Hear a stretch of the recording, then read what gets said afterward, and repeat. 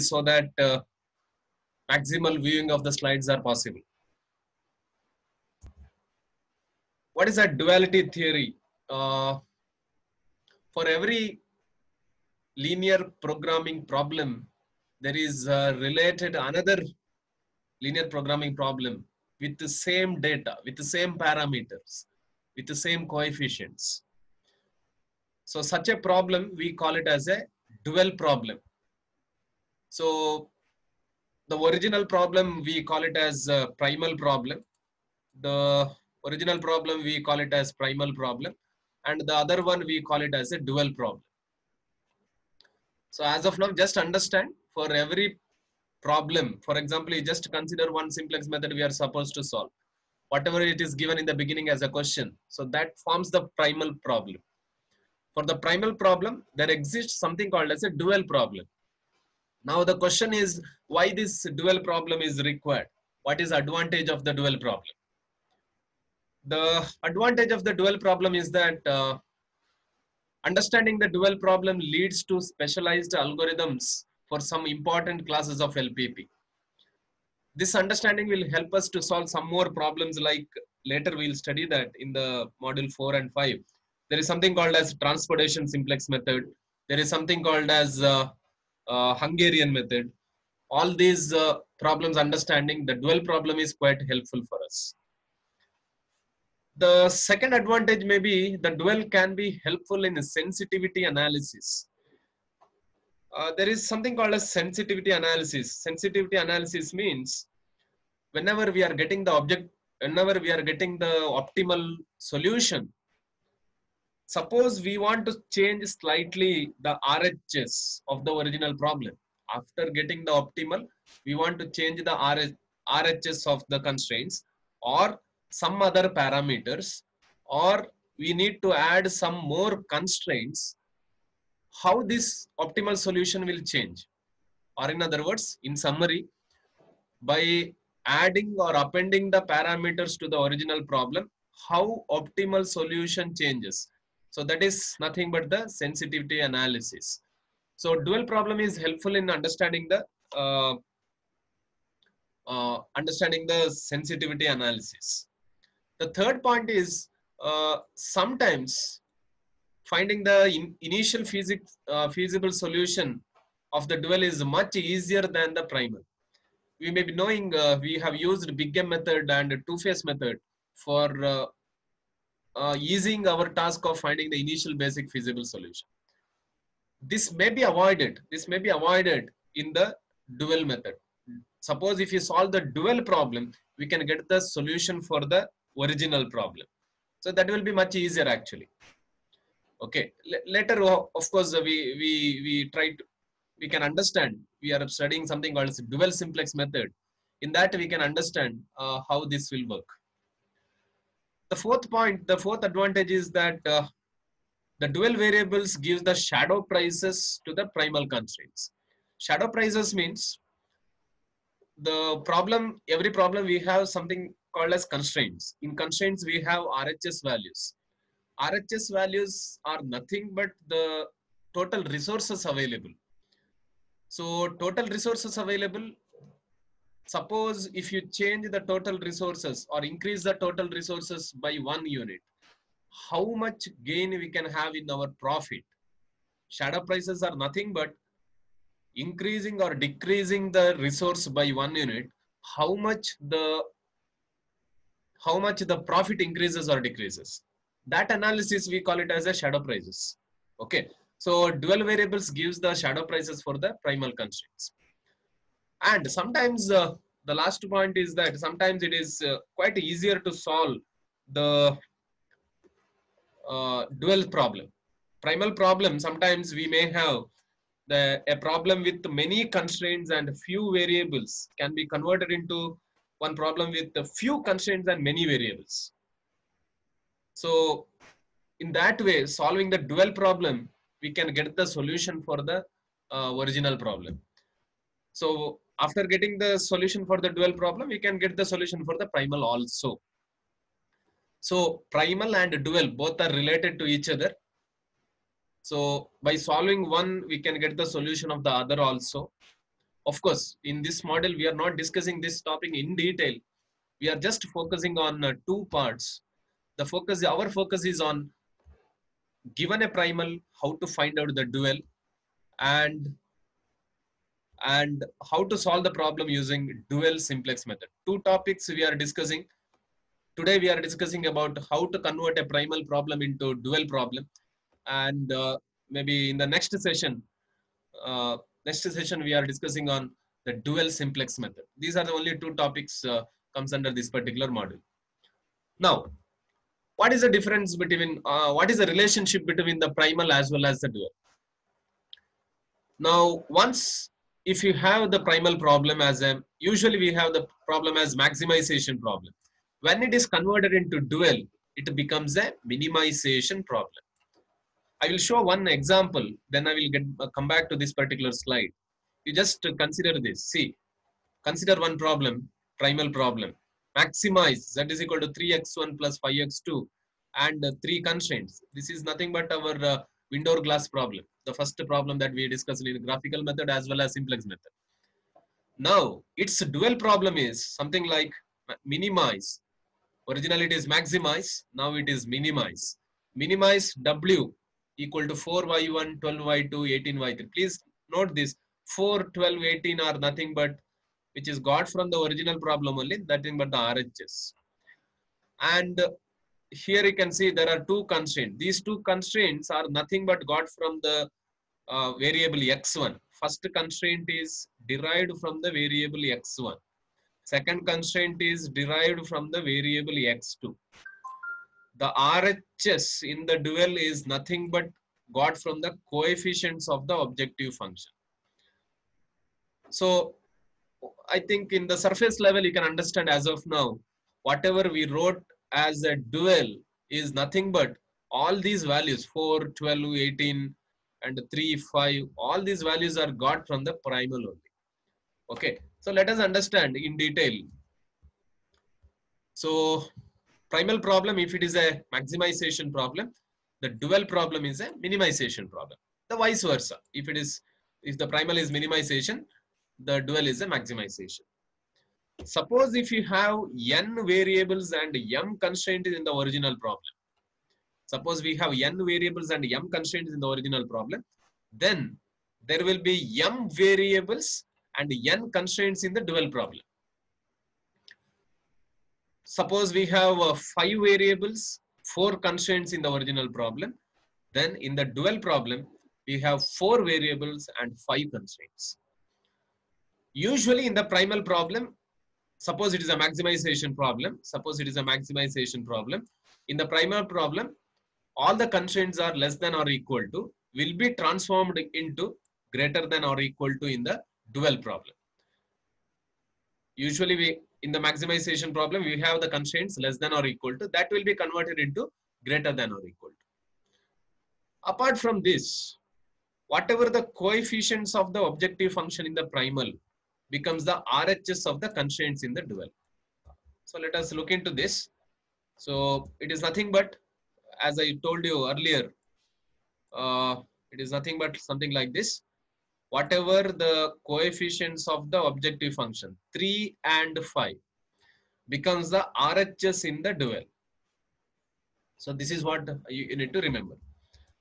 Then uh, similarly the other way RHS of the primal becomes the coefficient of the objective function in the dual. So what you can observe is uh, whatever the RHS is there 4, 12, 18 that becomes the coefficients of the objective function in the dual. So that you have to remember. Okay, so this is the relation. So the whole relations, uh, uh, so this is what the whole relations we come across. Apart from this, apart from this, some more relations we have. We need to remember these relations.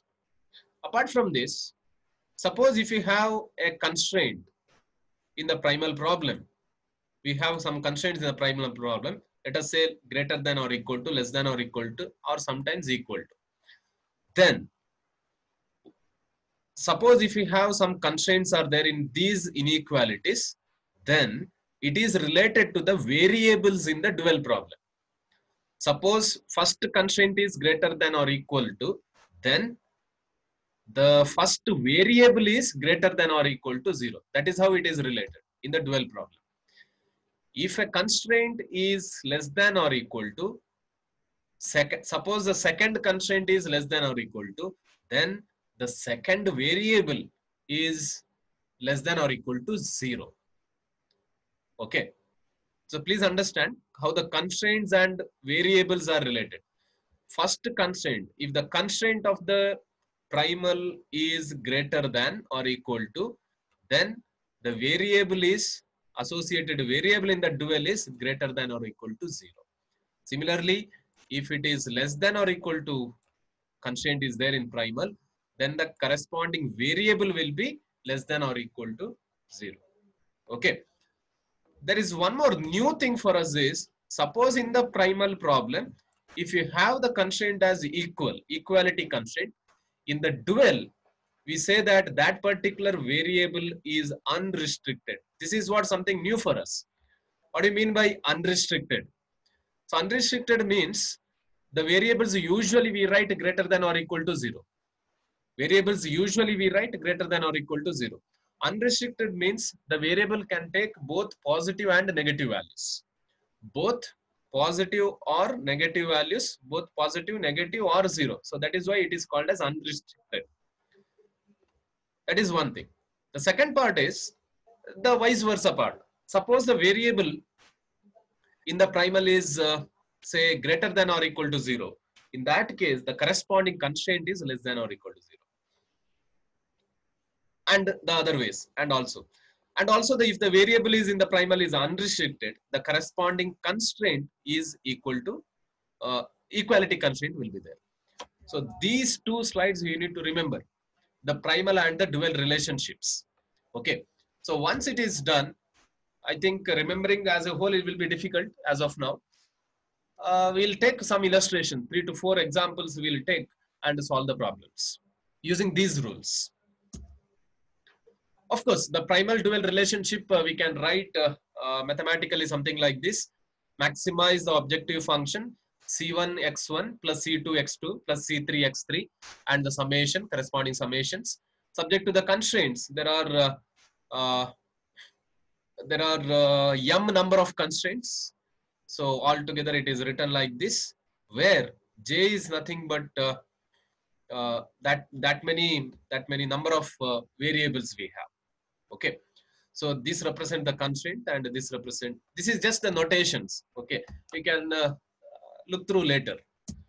Similarly, I have already shown you one example. How to do this, we'll see now. And one more thing you can note, you can read later is that uh, uh, you can represent this in the matrix form also. Uh, you can uh, note this later, not much important for us. So moving on, let us understand how the primal to dual conversion will happen. Okay. These are the steps you, you have to remember. The first step is if the problem is a maximization problem, then if the primal problem is a maximization problem, then ensure that all the constraints are less than or equal to. All the constraints are either less than or equal to or simply equal to. Suppose some constraints are there with uh, greater than or equal to, multiply by minus 1 and convert it into less than or equal to. This is what uh, important for us. Suppose the original problem is maximization problem. All the constraints we want as less than equal to, less than or equal to, or equal to. So this is what expected. Suppose the primal problem is a minimization problem, then ensure that all the constraints are greater than or equal to or equal to, which I am not written here, greater than or equal to or equal to. So this is what uh, expected. Once this is done, then we need to apply the primal dual relationship so that uh, get the solution. So let us look at the some of the problems. How we can convert primal to dual. Let us take one example. Find the dual of uh, maximize z is equal to 3x1 plus 5x2 and we have uh, three constraints. We have three constraints. Now, uh, first to see that all the constraints are less than or equal to. First to see that all the constraints are less than or equal to. This is what we have four constraints. We have four constraints. Okay. So here you can observe that R are less than or equal to. It is there in the required format. Okay. Now just you can start conversion. So let us see how to convert it. As the board is not available, blackboard or whiteboard or whatever it may be. So I am directly giving you the answers. Uh, anyway, I will explain how this answer is got. Okay. So how to do this? Let us understand one by one, step one by one. Original problem is a maximization problem. So dual problem is a minimization problem. We have some objective functions z here. You take some other objective function, let us say w here. Now, the rule says that coefficients of the objective function becomes the RHS here, okay, as well as the RHS here becomes a objective function coefficients. So now my aim is to write the objective function. My aim is to write the objective function of the dual. So I need to look at the RHS of the primal. Look at the RHS of the primal. So here you can, what you can observe is, uh, what you can observe is uh, 50. RHS is 50, 35, 10, 20. 50, 35, 10, 20. So take this, okay, 50 into y1 plus 35 into y2. You have to take different variables now.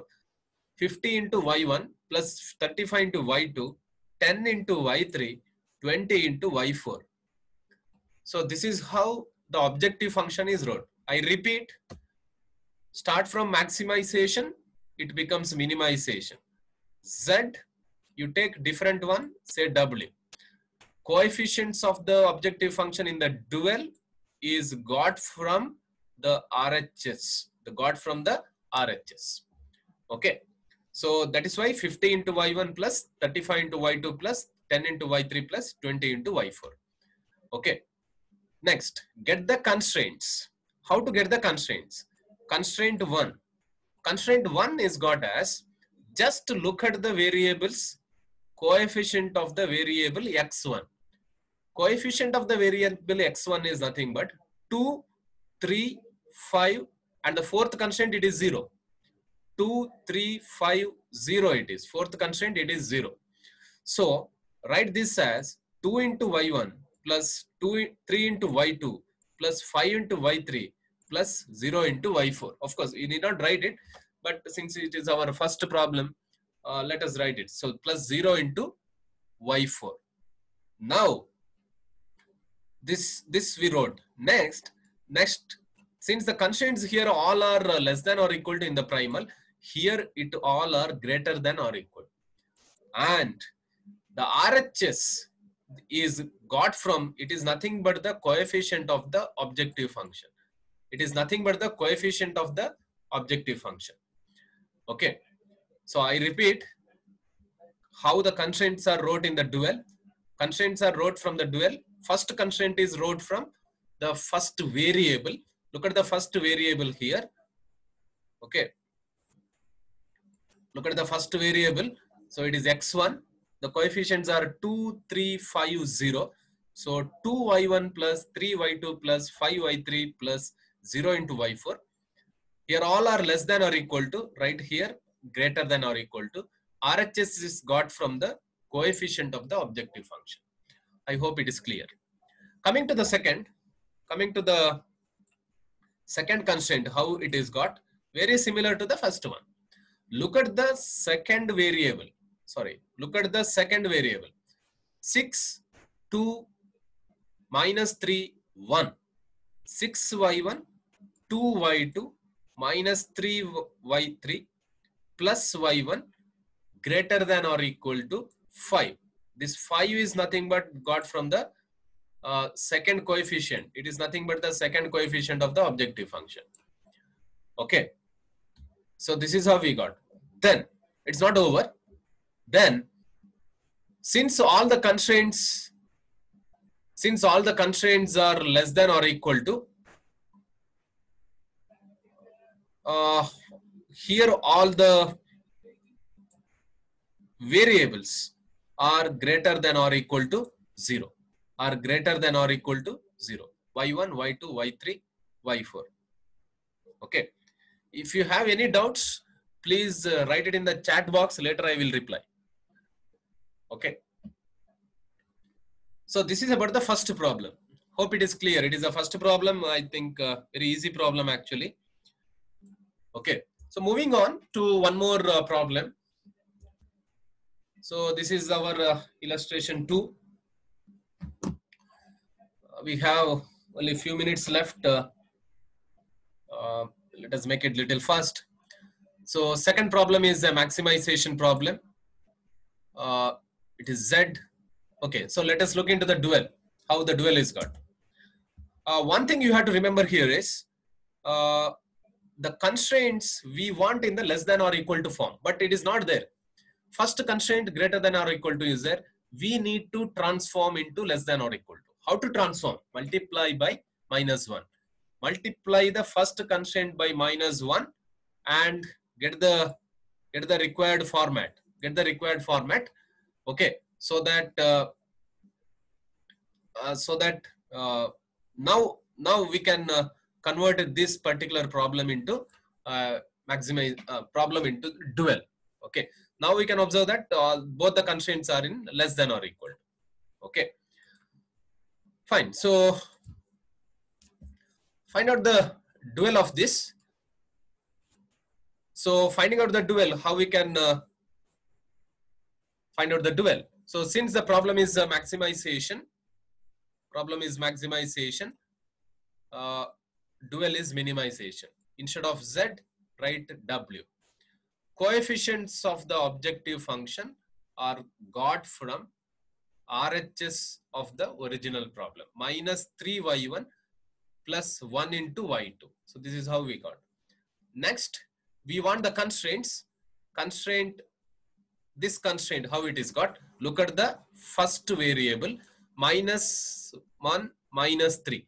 So minus 1 into y1 minus 3 into y2 here it is less than or equal to here it is should be greater than or equal to. RHS is got from the uh, coefficient of the objective function. 3 will go here. Second one. Second uh, constraint is got from the second variable. Unfortunately we don't have x2 in the second uh, uh, constraint here. So you should take it as 0 so 0 into 0 into so 1 into y1 plus 0 into y2. 1 into y1 plus 0 into y2 that gives you y1. y1 greater than or equal to 17. 17 is got from the second coefficient in the objective function. Second coefficient in the objective function. Third variable if you take minus 1, 2. Minus 1 x3, 2.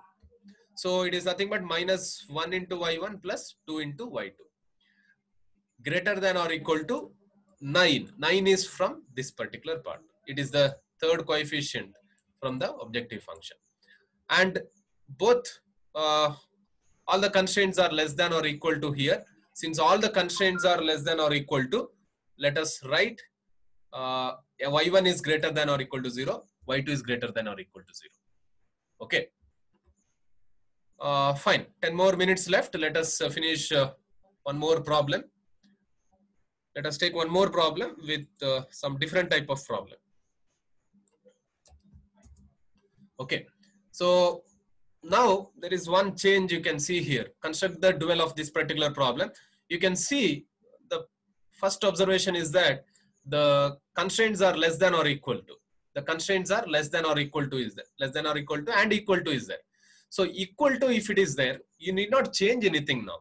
You don't change anything. Keep it as it is okay sorry keep it as it is now change it into minimization so original problem is maximization now it is minimization z becomes w Look at the uh, RHS values 7 and 3. So 7y1, 3y2. Look at the first variable 2 and 3 coefficient of the first variable. So 2y1 plus 3y2 greater than or equal to, it is always greater than or equal to, then this 3 is nothing but got from the coefficient of the objective function. Similarly, look at the second variable 3y1 minus 3y2. Okay, greater than or equal to 10. 10 is got from the second coefficient of the objective function. Similarly, the third constraint 2y1, 4y2. Okay, so the RHS is got from the coefficient of the objective function. Okay, now, now one important fact is that here first constraint is less than or equal to. So, I repeat, this is something different from uh, other problems. Okay. First constraint is less than. So, first variable should be greater than or equal to 0. Second constraint is equality. So, that is why we call y2 is unrestricted in sign. This is what something new for us. Suppose the constraint is equal, then corresponding variable should be written as unrestricted in sign. It means y2 can take greater than or equal to 0, less than or equal to 0 or 0. So its sign is not important for us. That is the meaning y2 is unrestricted in sign. Similarly, similarly, suppose if you have some say x3 is say it is given as unrestricted in sign, then then the corresponding constraint, third constraint, you have to write it as equality. I repeat, suppose if you have some variable is given in the primal as equal, some variable is given as equal, then corresponding constraint should be, uh, sorry, suppose some variable is uh, given as unrestricted in sign in the primal, then corresponding constraint should be made as equality. So that's about the third illustration. I think uh, we covered all the possibilities as of now. Okay. Now let us uh, look into the illustration four. Uh, quickly I will go through because of the time restriction. Uh, we have here, it is a minimization problem. So we have here uh, less than or equal to, greater than or equal to, equal to. All three are there. So since it is a minimization problem, we want all the constraints as greater than or equal to. Please understand. It is a minimization. It is a minimization problem. Please make all the constraints as greater than or equal to. So make everything as greater than or equal to. First constraint multiply by minus 1 and make it as greater than or equal to. Okay. So once you do that, this will be greater than, this will be greater than, this will be equal to. From this, you can compute the dual now. So remaining things, uh, minimization problem, it is maximization problem. And the remaining th everything is uh, we discussed already. So what is important here is uh, second constraint is equality. So, so here y3, whatever is there, sorry, third constraint, third constraint is equality. So that is why third variable is unrestricted in sign as similar to the previous problem. I hope uh, by this uh, four illustrations, it will be clear for you how to transform a primal problem into dual problem. A primal problem into dual problem, how we can convert. Okay. So moving on, uh,